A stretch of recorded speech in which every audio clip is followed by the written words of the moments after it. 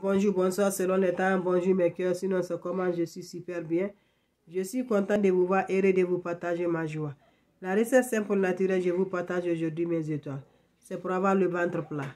C'est la beauté du ventre plat, pour éliminer les graisses du ventre. Le ventre a plus forme, tu veux que le ventre va descendre mes étoiles. Va faire ce recette, tu vas m'aider un petit merci. Va faire ce recette, tu seras heureux, tu seras content par grâce à les bon Dieu. Surtout, n'oublie pas de partager. La recette est basée de quoi mes étoiles? Voilà, vous aurez besoin de oignon. Cherche la oignon comme vous le voyez, râpez ça mes étoiles. Quand vous allez finir râper, vous allez prendre la pâte là mes étoiles. Vous allez ajouter la pâte de colgate mes étoiles.